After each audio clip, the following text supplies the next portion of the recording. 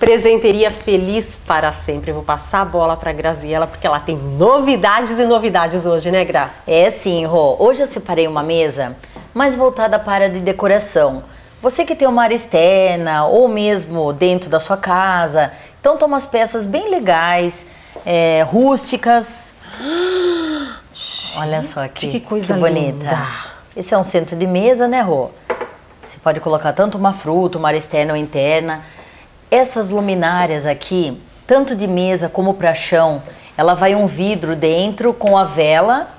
Então fica bonito numa beira de uma piscina, é ou na sua mesa da sua casa, da sua sala, e essas outras peças também. Esse daqui já é o conjunto com três cestas, né? Ela vem as três juntas, ela é revestida com pano. Essa daqui já é ela sozinha tanto para um lavabo, para colocar num, num banheiro, numa cozinha. Tem N utilidades. E daqui a pouquinho você vai mostrar a linha de banheiro. Aproveitando falar de banheiro, tem algumas peças de banheiro que chegou. Ai, que vale a pena esperar. Daqui a pouquinho a presenteria.